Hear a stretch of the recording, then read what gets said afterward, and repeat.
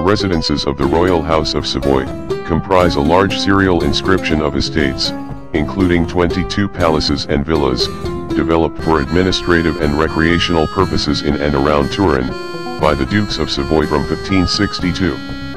Eleven of the components of the property are in the center of Turin, and the remaining 11 are located around the city according to a radial plan.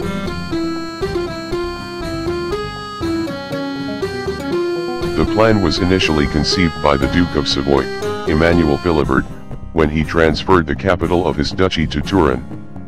His successor, Charles Emmanuel I, and his wife developed and implemented the plan to completely reorganize the area, during the 17th and 18th centuries, giving the city and surrounding area a Baroque character. The residences of the Royal House of Savoy, is an outstanding example of European monumental architecture, and town planning in the 17th and 18th centuries, that uses style, dimensions, and space to illustrate in an exceptional way, the prevailing doctrine of absolute monarchy in material terms.